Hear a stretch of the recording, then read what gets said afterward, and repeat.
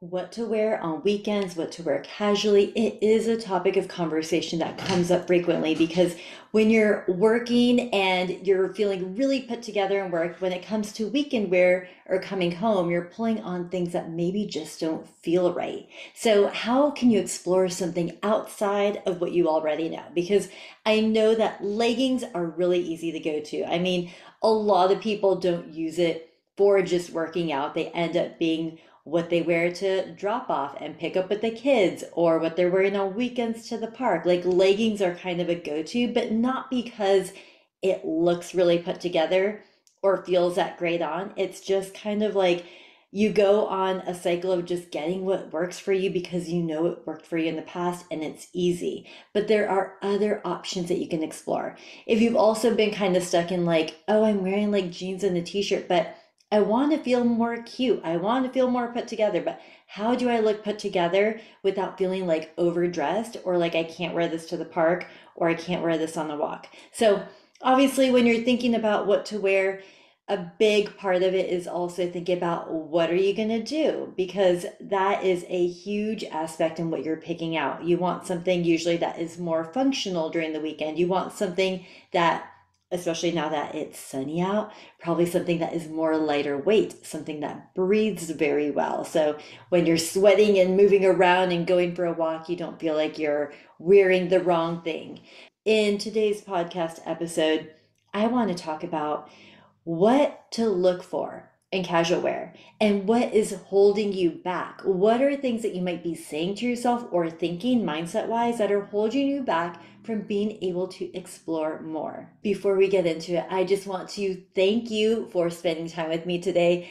This is an episode that you're going to want to come back to to listen in and see what you can do differently because I'm all about just real talk. The real talk about what goes into personal style, how to explore what works for you. You do not have to be into fashion to look put together and to be stylish. So these are things that you can learn along the way. If you're listening while you're driving, this is a great episode that you can just listen to. You don't have to take notes, but if you take one thing away today, put it into practice, I would love to hear about it.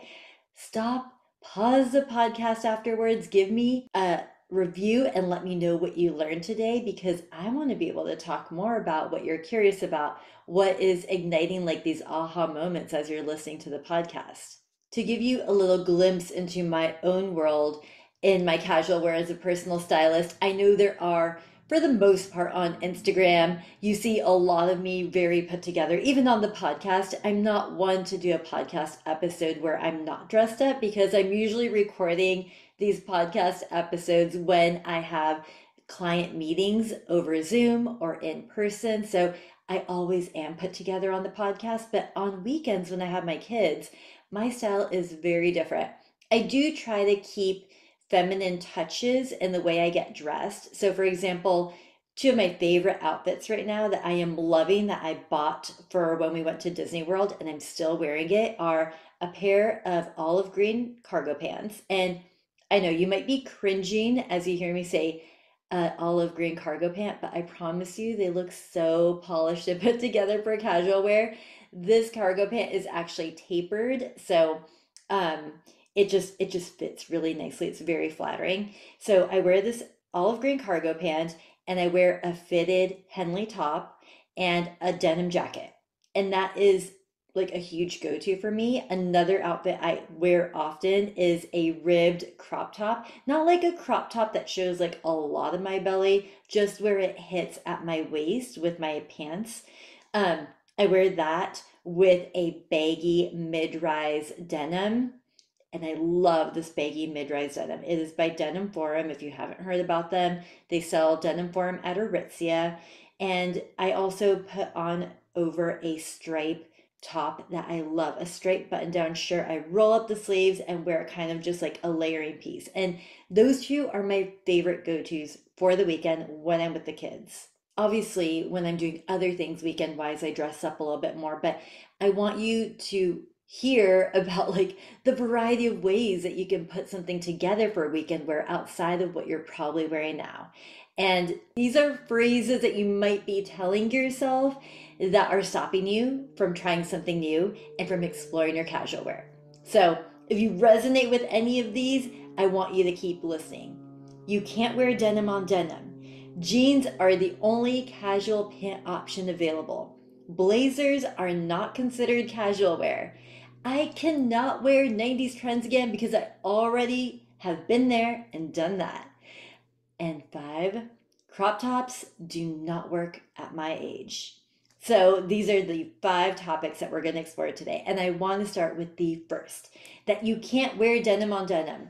I know it this actually is part 90s like themed, but sometimes we set these rules for ourselves that worked for a little bit, but now can be broken. So, some of the things that you had as a rule for yourself, or maybe a fashion rule that you had heard of before, it is okay to break it and let it go and try something different. So, denim on denim, I am loving. You can do a light colored denim jacket on top of a light colored denim jean, and it looks so good together. I'm trying to even think have I seen somebody do denim on denim that I did not like recently? And I can't think I can't think of a denim on denim I don't like. But you can do like the blue denim on blue denim. You could do a beige denim on a light colored denim.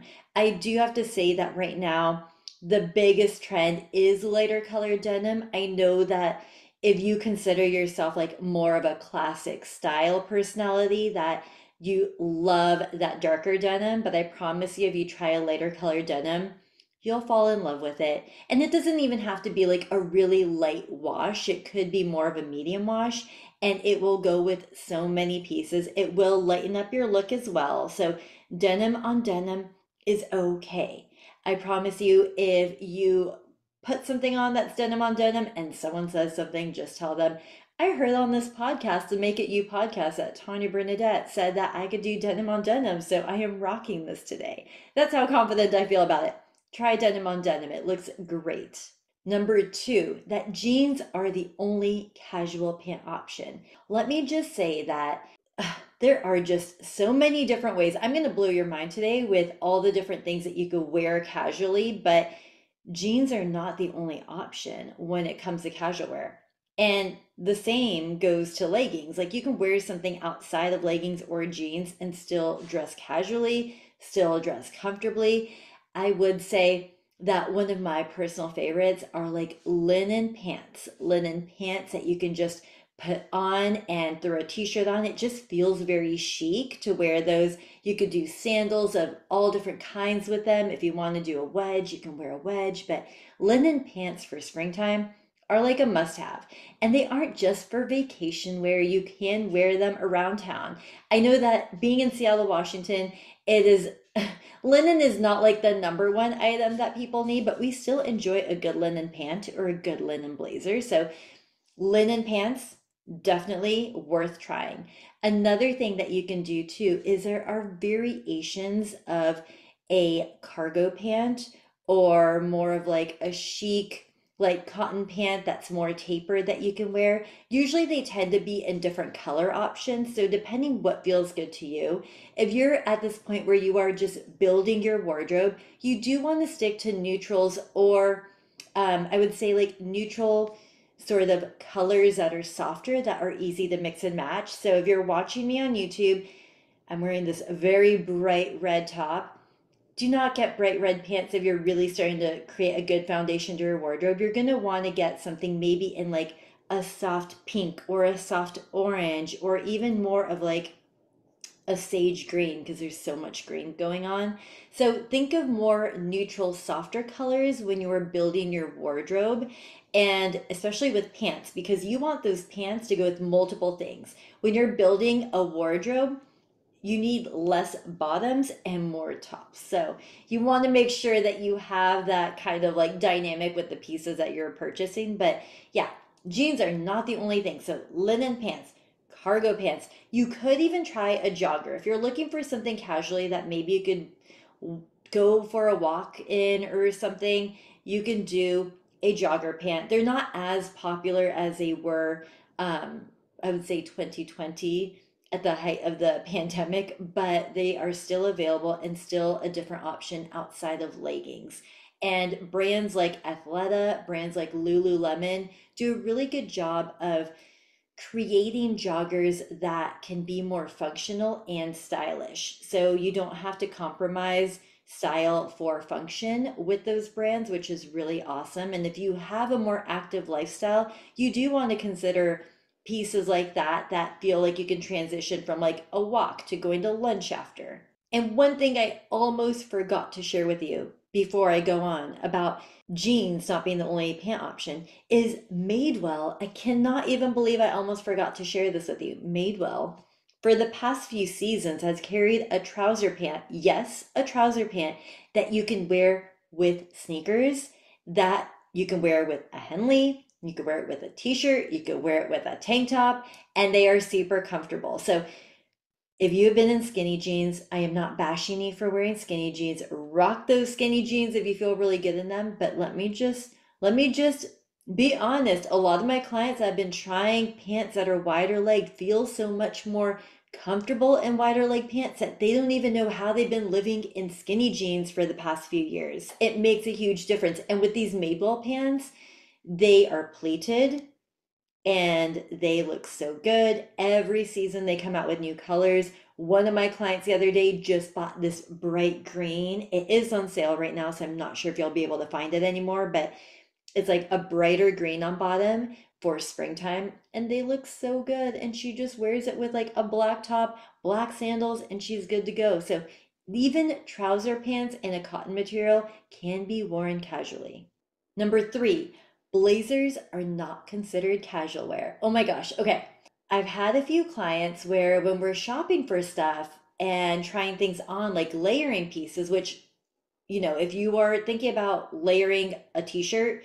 you do need something other than a cardigan sometimes. Like a cardigan can often look sloppy if it's not done properly, especially like the older ones that are like baggy and big with like the flapping fabric. If you have that in your closet, I do recommend just like letting that go, finding something a bit more like structured and nice that fits on your body really well where you don't feel like you're hiding it um, but going back to the blazers, blazers are super easy to wear. Like you can wear it to work with a dress pant. You could wear it with a dress that's casual and roll up the sleeves. You could wear it to work with a skirt. Like there are so many options. And one that you might not have even considered is wearing a blazer with a pair of denim.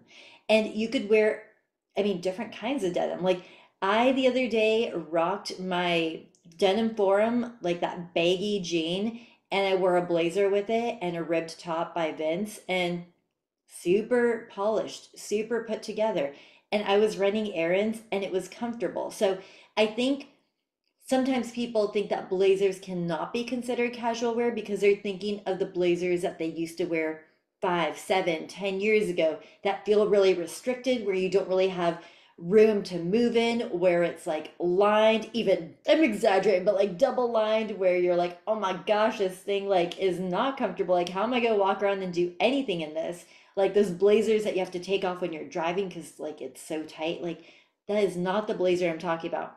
I'm talking about a relaxed blazer something in a rougher fabric that can go good with jeans not the blazer from your old suit. When i'm telling you to put a blazer and denim together this goes for both men and women, and the majority of people listening to this are women, but this goes for both men and women. Don't take the blazer apart from your old pantsuit and try to put that together and then say, oh my gosh, I can't wear blazers with jeans. No, you have to actually go out and buy a new blazer, whether that is linen, cotton, something that is not stretchy, but it's unlined so it feels more relaxed.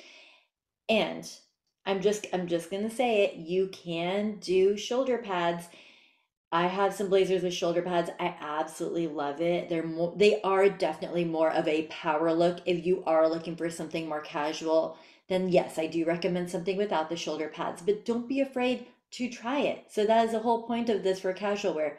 Go into a store and explore blazers with denim. Number 4, I can't wear any 90s trends because I've already been there and I've done that. I can't tell you how many times I've heard this when I've been working with clients over Zoom or we've been in the fitting room together. And then as I show them how to style it or try it on, it changes. Like the way that they think about the 90s trends changes because what has happened is yes, 90s are definitely back, but you have to interpret it for what it is now. You have to interpret it for where you are at in your life now. I think I talked about this in a separate podcast episode and I shared this on Instagram stories today, but there was a day a couple months ago where I put together like this really cool 90s look. I do have to say it was slightly more trendy than what I normally wear, but I really wanted to just like have fun with my outfit that day. And the only way I could put it is I looked like Phoebe from Friends. If you have ever watched the show, you know. I looked like Phoebe from Friends, but like the elevated, more um, chic version. And it was like awesome. It was like a whole thing. I should made a TikTok video or something showing like Phoebe and Friends and her outfit and how she did it, and then my interpretation of it in 2024 and how elevated it was. Because I was wearing like this like theory top and I think like a Vince oversized blazer or something. But anyways, it just looks so cute. It had the tank top over the t-shirt, which I never do, but I did for work that day, and it just it was like the perfect outfit. It was the best way to show you how to interpret a 90s trend from back in the day, but make it more polished and chic for where you are now. So when you're thinking about 90s trends, yes, you might have in your head like how you used to wear or the brands that you were wearing in the 90s and you're like, "Oh my gosh, cringe, cringe moment, can't do that." But I can tell you that if you find the right pieces now as you're putting things on together and they are more elevated, so when I'm saying 90s trends, I'm not saying go to the junior department or go to Target and buy 90s trends because that is going to make you feel like, oh my gosh, I cannot do this. But when you do the 90s trends in nicer brands like Reformation or Alice and Olivia or other brands like that, I promise you that when you put that piece on and for that price tag, you're going to be like, oh, okay, I get it.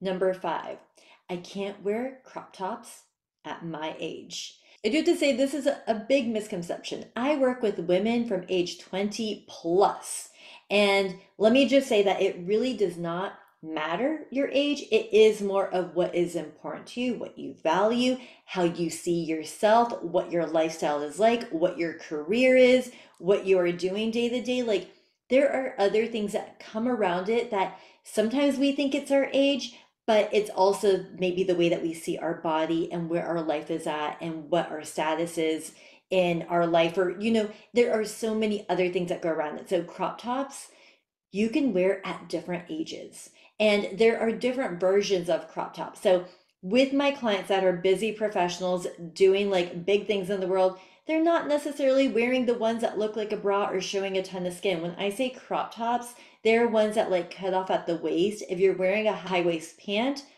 it like it doesn't really show. Okay, we went through it. We went through the thing. I hope that you took something away from this that is going to take your casual wear to the next level because now you feel confident to take one of these things, go into the store and explore something new and take away this mindset that you had before, this blindfold you had of things that you can't do or try and go in there and do something new and grab something different than what you had been wearing before. Have fun. Casual wear is meant to be more fun, anyways. You get to add some color, add some print. Don't just think about it as something functional. With casual, you can be more fun because there are no rules like there are for like workwear sometimes. So go out, have fun with it. Find something that you feel like you'll be able to gravitate to every time you go to your closet find those pieces that you're like, I like this so much and it fits my life and body so well that I'm to grab it all the time when I go out. And you know what? If you have tried to piece together your style for months or years and you still don't feel like you have a cohesive wardrobe, let's do this together. I have a free webinar coming up on how to build a capsule wardrobe. It's on May 8th or 9th. If you go to the link in the show notes or even go to myclosetedit.com or go to my Instagram, wherever you are following me, you can find how to sign up on how to build a capsule wardrobe. I want to share with you my strategy to go from feeling like you have boring basics and things that don't feel cohesive to creating an easy to mix and match wardrobe that really lights you up. That is what I help people do. That is what I've been doing for 15 years, and I want to show you how to do this as well. If you didn't know this yet, the most important part of shopping is to first build that good foundation to your wardrobe by creating this capsule that brings things together so that next time you shop, next time you want something fun and different, you have pieces that you can create multiple outfits with. So, if you have been struggling to figure out how to put together your wardrobe, what your style is, what is a capsule wardrobe, anyways? Why are people talking about this? I want to see you there on May 8th or 9th. So I want to have you just pause this episode, go into the show notes, and sign up so that you can make it.